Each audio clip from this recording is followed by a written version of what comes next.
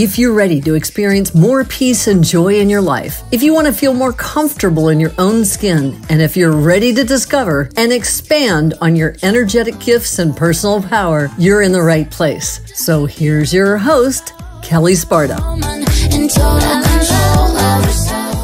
Welcome back to Spirit Guides. I'm your host, Kelle Sparta, transformational shaman, spiritual business coach, spiritual coach. And I am here, as always, with my friend Joshua Radewan, who is a spiritual coach and specializes in working with people in the paranormal world. So, Josh, I, I, before we get into our topic, which our topic today is grounded and wired, can meditation fix my social media t- uh, addiction, which I adore, right? So we're so excited about that. But before we get into that, I want to talk about something you said to me before we got on the call today, which is you're doing a entity removal on Monday for somebody. I am. So, you know, this person had come to me. They, they just booked a, a short reading, which if you look me up on Facebook on JD Radewan, you can you can find me there and as I was picking up on it, we were talking a little bit, and you know, she had said she had had a recent Reiki session and that this person had removed the entities. I saw it quite differently, and I could tell by the pain she was experiencing in her neck, and that it's been going on for a long time. And you know, in working with her together, we were able to kind of pinpoint where it's been coming from. So once again, this is a little bit more of a process. So we, we booked a, a, future appointment to, to take care of this. But this is something I see quite a bit of, you know, especially in the paranormal community. This one is outside yeah. the paranormal community. You know, none of us are impervious to picking up some of these, uh, as you call them, schmoogies, you know, on our daily travels, you know, especially we're going to places like hospitals, you know, retirement homes. You know, a lot of these places have a lot Micro of things bars. floating around. So, or bars, yeah. There's a reason yeah, I stay at bars these days, more, more than one. Yeah. It's, yeah. So yeah, no, that's you know, if, if you're interested, you know, we, we do this in the energy review process too. You know, like when I take a look at the aura, I, I also look about what's going on and around you too. So, you know, and there's many of us that are doing this. If you if you go to the landing page, so be sure to check that out. Yeah. So let me let me uh, just say that it is possible that the person doing the Reiki pulled off a bunch of schmoogies, right? Yeah. They they probably did clear a bunch of stuff. And it is also possible because Reiki tends to be something that people start with and then evolve from. You know, some people stay with Reiki for long periods, but it, it tends to be something that people come into fairly early in their practice.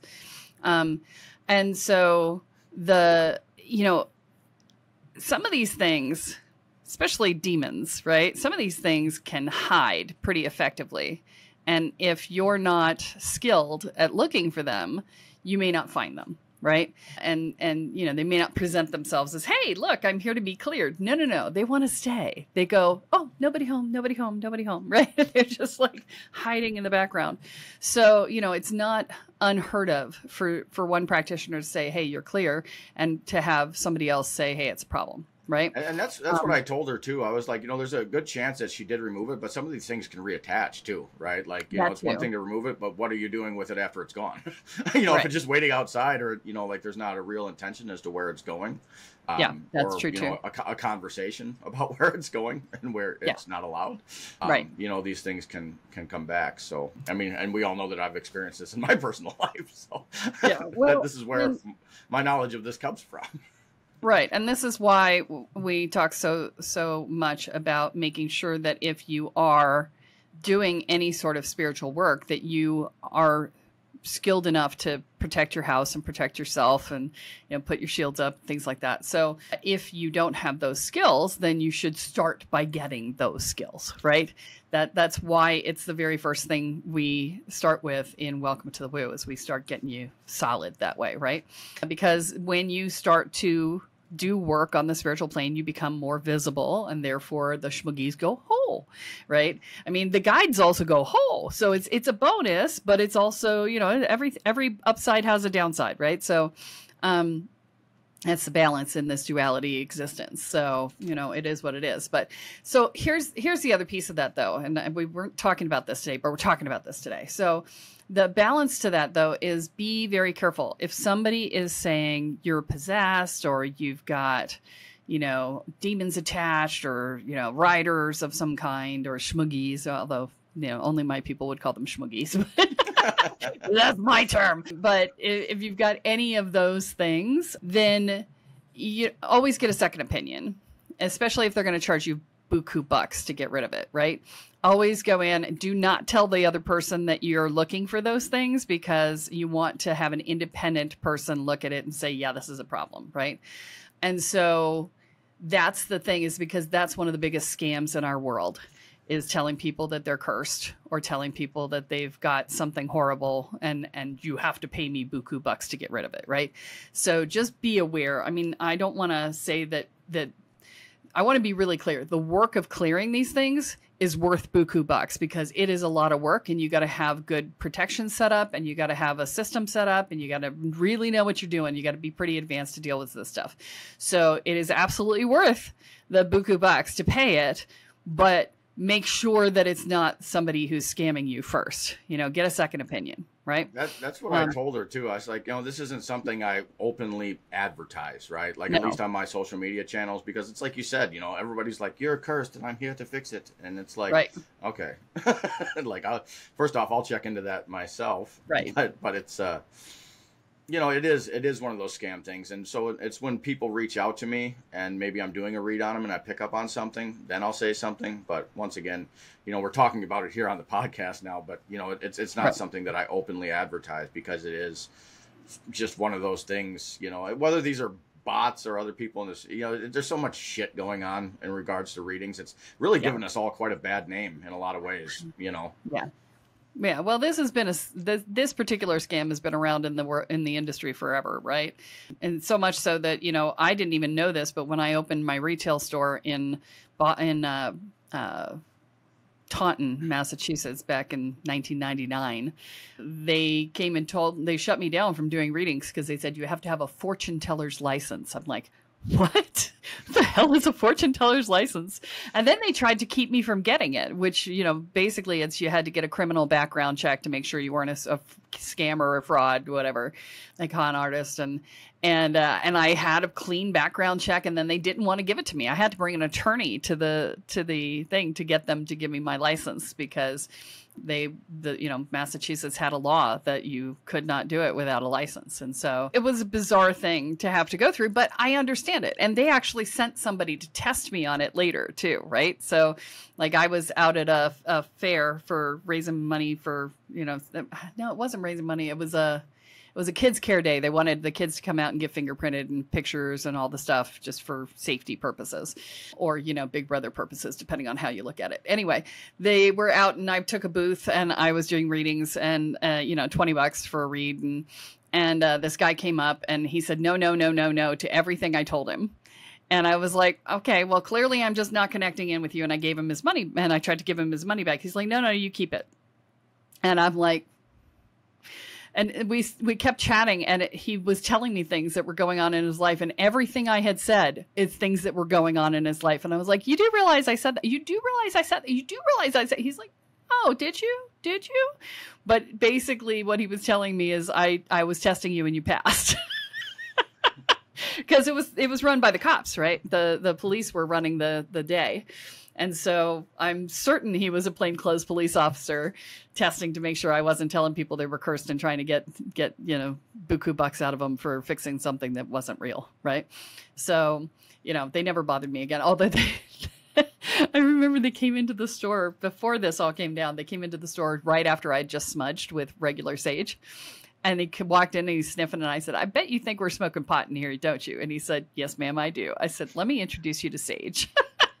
Did he believe you? Yeah, well, sort of. I mean, I did burn it and he smelled it. So, you know, they didn't come back. So I was I was totally nonchalant about it and I was like, "Oh, I bet you think we're doing this." No, no, no. This is sage, right? This is what we do to clear the space, da, da, da, and he's like, "Mhm." And I just started using white sage after that cuz it didn't smell like pot. but, but yeah. So, you know, always fun in the world of in the world of psychics and police and whatever. But we're 10 minutes into this episode. We have not gotten to the topic. So we're going to get on to the top- topic now.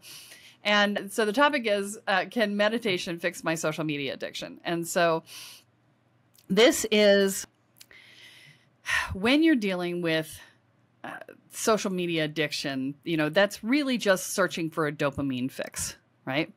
That's what uh, the addiction to social media is, is the constant flipping, the constant dopamine, the la la la la la la la, right? We're we're we're programming our brains to be distracted, right? And, you know, I say this having been watching TikTok all morning. So I am not in judgment. Okay. Let me just say that. but I learn a lot of stuff from TikTok and I waste a lot of time on TikTok. Let me be let me be honest. So but the the upshot is that if you are not able to sit still and focus, you will have a hard time manifesting and you will have a hard time doing any sort of magical pra- practice, which manifesting is part of, right? I mean, and I use magic again in the broadest terms. Um, it, it's just you know energy work, metaphysics, right? And so the the key with any sort of energetic working is your focus and your intention. And if you cannot bring your focus and your intention into solidity, then you will have a very difficult time doing anything on the energetic realm. Okay, that isn't entirely unconscious, right? Because we all work on the energetic realm all the time, 24 7, 365. We work on it all the time. But consciously working on it is a whole wholly other thing, right? And so this is the other reason why we work a lot on on doing your inner work because your beingness works on the universe 24 7 your doingness works on the universe when you focus on it. Okay. And so when you can shift your beingness, it makes the doingness much easier. Right. So, so with that, can meditation fix the social media addiction? Uh, yes and no. I meditate all the time. I'm still on social media right. That's kind of my point. So, uh, will it allow you to do the things that the social media addiction is working against? Yes. All day long. It will help you to learn how to focus and how to uh, be clear in your intentions and to hold those intentions over a period of time. That is the key to doing any sort of energetic working, which we just said. Now, why we go to social media is another thing altogether, right? So I've I've found for me that I end up there for a couple of reasons. One is I am fried. I have overworked because I tend to get passionate and get overexcited, and then I overwork, and then I fall down, go boom, right? And um, that's something I've been working on personally for a while now. And so I find that when I have absolutely nothing left at the end of my day, it is, uh, you know, I used to use the TV. I still do every now and again for that. And I say, I'm going to let the TV watch me right? I'm not paying attention to what's going on. I'm, you know, probably playing my my game on my phone while I'm while the TV is talking at me.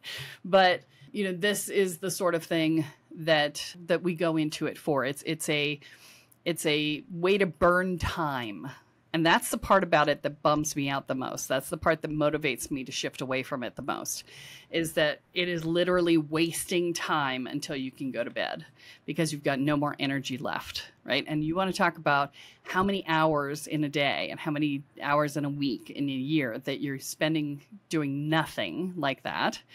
Um, it, it is, you're not living in those moments, you're existing, right? And so you know, the very first thing for the social media addiction is to go go and find get a life, right? Get a life. Stop giving 100% of your time to your employer because they only get 8 hours of a 16-hour day. You should be giving them 50% of your energy, not 100% of your energy, right? Because you've got another half of your day to continue living. And so that's part of the the challenge. And then the other reason is if people are avoiding things. If I'm avoiding things, I will go into my phone, right? I don't want to think about it. I'm going to go into my phone, right? So that that one doesn't happen very often for me these days because I I've been doing work on myself for so long that you know looking at stuff is just what I do. It's a default. Um, but you know, I still have my moments every now and again where that happens. But for a lot of people, it is a lot of it, it's an avoidance tactic. It's it's avoidance with the dopamine hit which is why it makes it so addictive, right? It's like, oh, I get to avoid all my problems and I get to feel good. Yay. Yes, right? I will take that. Yes, but it doesn't fix your problems, right? It doesn't make them go away. So the key here is to to begin to start to look things in the face, right? So, you know, that if you're doing any avoiding, it's temporary, right? Some people avoid constantly, you know, and and I, I don't want to say some people everybody eventually at, at, some point everybody avoids constantly until you learn not to right? It, it is it is a coping mechanism that we use for situations that we can't get out of is we stop looking at them right if we especially as children when you're you're trapped in your family environment you know that's that is what it is i mean you you don't have any option to be out of it so you just stop paying attention to it in the hopes of not being unhappy all the time right and so it's a perfectly reasonable coping mechanism for when you can't do anything about it. But by the time you're an adult, you can pretty much do something about it. You may choose not to. You may not like the consequences of doing something about it, but that doesn't mean you can't do anything about it, right? So and and we oftentimes will trade short-term pain for, you know, the we'll we'll trade long-term pain for short-term pain, right? So instead of dealing with the issue and the consequences of that issue, we just, you know, knuckle under, put up with it and and pretend that it's okay, right? This is one of the reasons why crystallizing your discontent is so helpful. Is that when you sit down and look at everything that you're tolerating all at once, it tends to give you the motivation to do something about it. And that's when you make big changes in your life and, you know, things that work hopefully for the better, right? If you're choosing consciously in the right direction for you in the path of what it is that you desire, then you're doing well, right? So, uh, and things can't help but get better. They they will short term get worse because you deal with the breakdown before the breakthrough, right? It's always breakdown before breakthrough. So short term they get worse because you're breaking down. But when you get to the breakthrough, then everything comes back together. I, I have a client in one of my my coaching programs right now. You know her. You're in the group with her, um, who just recently cleared away a ton of people from her life, right? And I was like, okay, so then there's a fallow period, which may be very short, it may be very long, but there's a period in which you will just be alone, you know? And then new people who resonate with you will start showing up. And for her, it, it was like immediate. They just started rolling in the door all over the place. And she she's just floored about how how fast that change happened. But she went through the short term pain of letting go of these people that she's had in her life for a long time and da da da da, right? So all of these things are things that that happen I mean, this is just a microcosm of a larger pattern that happens in your journey is that there's always these moments of, you know, if you want to bring something new into your life and your life is full, you got to get rid of something, right? So that is part of the situation is that you got to break down the thing that you got to let go of because there's only 24 hours in a day and you got to sleep sometime and not when you're dead, right? So Otherwise, you're going to die sooner, right? No, absolutely. You know, I want to go back a little bit, you know, uh, to the social media addiction piece. You know, for me, I, I guess, you know, like a huge part of it uh, when I really started taking a look at it was the external validation I received from likes and loves and, you know, the thumbs up. Ah. You know, like for me, it was a lot of that, you know, like, you know, and it kind of goes back to the childhood stuff you were talking about, right? Like we had parents that were maybe a little distant, didn't know how to, you know, like didn't have a level of emotional intelligence that could really nurture us in the way we needed. And a lot of us, I think, seek that out. I think it's going to get, you know, worse as we progress into this age of technology in a lot of ways because I see it in the home now, you know, like, you know, a kids got a room full of art supplies and crafts and puzzles and all the things you could do to really develop like some deeper level skills that'll take you through life.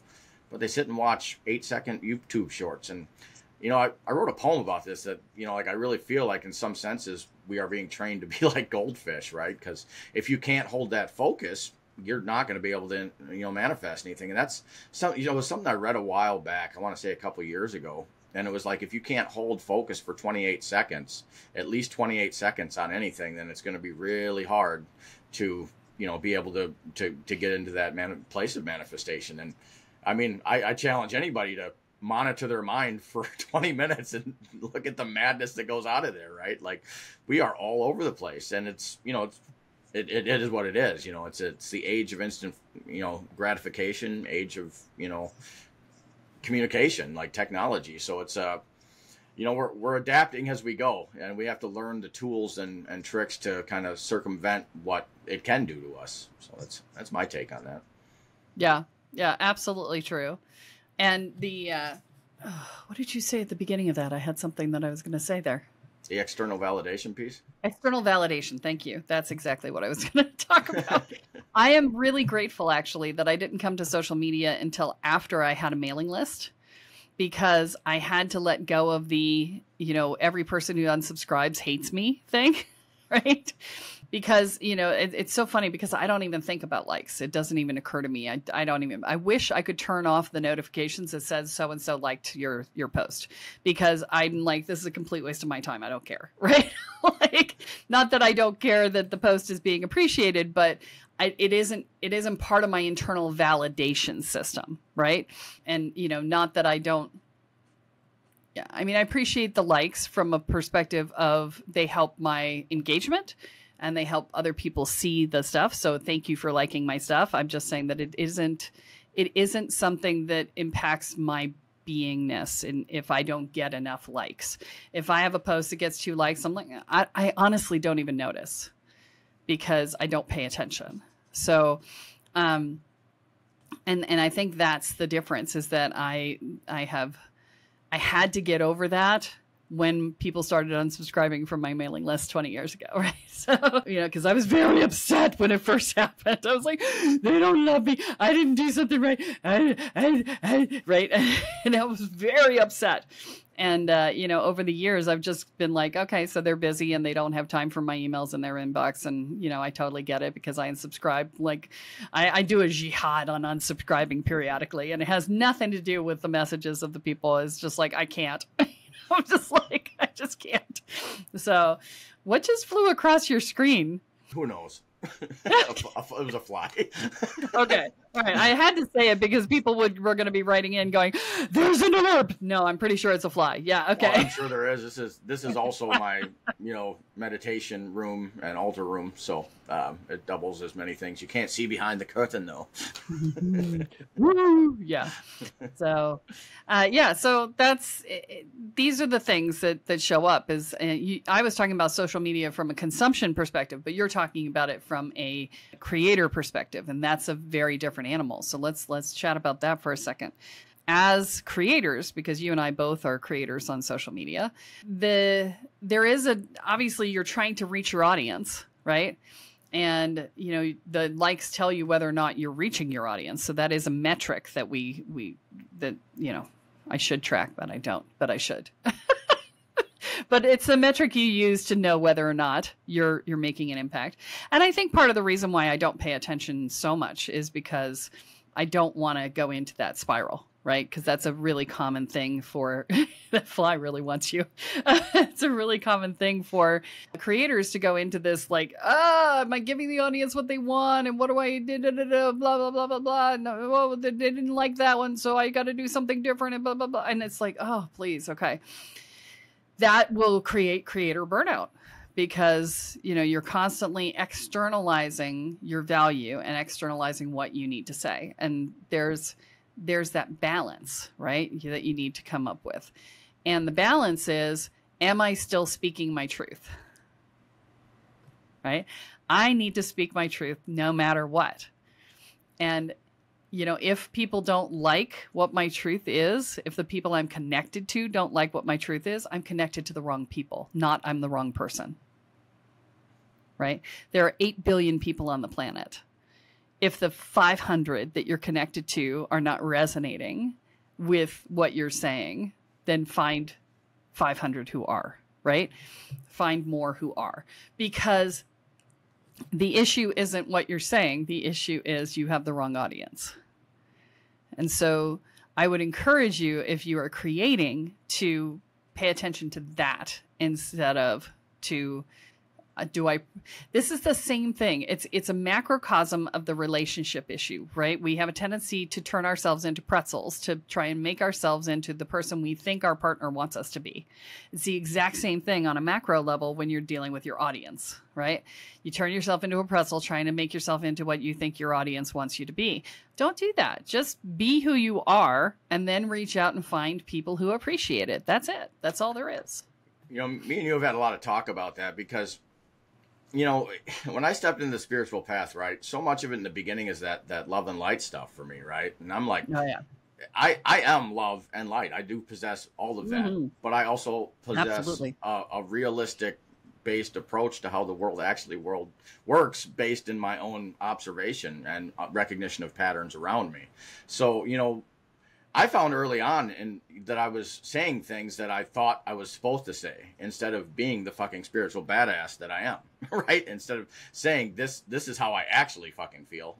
I, I used to just say, you know, I, I'd try to tone it down and, you know, like, and it wasn't me, right? It didn't feel like me. It didn't feel good when I was saying it because it didn't have that inner flame you know into it right? Like that that that reality that authentic piece of myself. And that doesn't mean that you know like i, I go out and i'm just like ah! to, to everything. It, it just means that when i'm when i'm more tapped into my true nature i can better create right? And it's uh you know I, I do that with care you know? It's never to trigger people but it is to say things in a, in a manner in which is authentic to me. And because you know, my best teachers have triggered me. I'm looking right at her during my process. help me grow, right? Like, if you're triggered by something, you better fucking take a look at it, right? Like, if there's because there's energy in it somewhere, right? And right. so any trigger is a, an opportunity to grow, and uh, sometimes that's you know what what we do and we do it you know unconsciously. It's not that i, I go out purposely intending to trigger anyone. It's just this is how i view the world and i, I have to not fear my voice because that steps in the way of me stepping into my power and you know also has backlash on my own intuition because i begin to second guess what it is that's coming through for me. So there's yeah. a lot of a lot of pieces to that for me. Well, and we even had that conversation when we started this podcast, right? Because Spirit Sherpa is very much a potty mouth podcast. And I was like, oh, do we want to make this the not potty mouth co- podcast? And I was like, well, that's not who I am. I am potty mouth girl. and you are potty mouth boy. And I'm like, I don't want to have to edit and censor and, and sanitize who we are. Right. And, you know, even though we'd get wider listenership if we were less potty, well, I mean, just there are people who will not listen to anything that's explicit. So, but the question was, are those our people? And, you know, I can't tell you how many people come to me and say, I was so glad the first time the word fuck came out of your mouth. I was yeah. just like, fantastic, you know, because that's our people, right? And and so there's that. And, you know, we will also just say that, you know, um, it's been proven that people who are smarter cuss more. So that gives us a, a smarter audience too. So, you know, we, we love that. So anyway, but you know, it, it was a decision that was actually discussed. And, and ultimately, you know, I was like, nope, we're just going to be who we are. But for what it's worth, I'm not sure that I could really do it. I mean, I, have I've been on like Christian radio stations, like actual radio stations where it's like yep. so not cool. And I had, I mean, I was so focused on not swearing during that process that I'm like, it's nice to just be free, and that's that's what's great about podcasting in general is like you know you're not you know censored by the FCC, you know like we can yeah. come out here and you know say what's truly on our minds instead of trying to cater it into a language that isn't our own. Yeah, well, and you know, I mean, I can edit and I have because I get I'm I'm on other people's podcasts all the time, so that's one of the first questions I ask every time is can I cuss? And they're uh, you know some people are like oh please no. I'm like okay, but I I end up saying things like what the frig and you know because I'm like shifting at the very last second, going oh no cussing ah no cussing. so you know is it is it fully me? No it's not fully me because you know i'm potty mouth girl. I could out cuss my sailor husband when i was in my 20s so you know to be fair he didn't cuss much but but i still would have beat him if he did. But you know it's it's all of that. So so yeah you just have to learn to be who you are and to allow yourself to to be and say what is your truth And when you do that, it will naturally attract to you the people who are most interested in that. You just have to be willing to admit that you are not, um, you you don't have to be that perfect person, right? For the other people, you have to stop trying to make yourself a pretzel for them. You know, you, you sent me to some quotes the other day, and you know, it's like uh, you might be. You know, this is one that really stuck with me. Is like you might be the sweetest peach on the tree. Some people just don't like peaches. Like, oh, I love that. you might be the best peach ever, but if I'm allergic to peaches, that's a problem, right? yeah, might not even be that I don't like them. Might be I love them, but they don't love me, right? So, yeah, so it's like that. So I think that's good. I think we'll leave that at that for for now. Please remember to like, subscribe, and share. If you have enjoyed this episode, please share it with somebody that that you think could use it, or any episode that we do. We really appreciate you, and you are you're the reason we're here. So if you have questions, please send them in. You can send them to Kelle at kellesparta.com, spelled just like you see it on the screen if you're on video. If not, you know, K E L L E, right? And and also we really want to do what you want to hear. We want to offer you what you want to hear. I say this after I've just said be who you are. And we're, we are, we're, we're putting out what we want to put out, right? But if you have something that you want to hear, please, please tell us because, or a question that you need to ask, we want to hear it. So, and please remember to rate. So if you rate the podcast with a rating system that actually has words, it can't just be stars, has to be words, uh, and you send me a picture of it, I will put you into the reading drawing because I am still doing reading drawings periodically throughout the, this, and I am still getting people rating and doing that. So please do that, and then you'll have a chance to come on to a Friday Ascend call and get a reading, any kind of reading you want and we will make that happen for you. And you can even choose your reader if you want. We'll we'll make that go too. So if you want one from me, you want one from Josh, somebody else in the in the spiritual in the Spirit Guides school, yeah, I can talk. Uh, then then you can pick from them. So that's it for this week. We will see, or not this week, today, because there's many more episodes coming out the rest of this week. But don't forget that what you focus on and what is what expands. What you intend is what you create. So choose wisely. So that's it for today's episode of Spirit Guides Podcast. Head on over to iTunes, Apple Podcasts, or wherever you listen and subscribe to the show. Every week, one lucky listener who subscribes and posts a review on iTunes will be entered into a drawing for a $10,000 value grand prize and a private reading with Kelle Sparta herself. Be sure to head on over to spiritguidespodcast.com and pick up a free copy of Kelle's gift and join us on the next episode.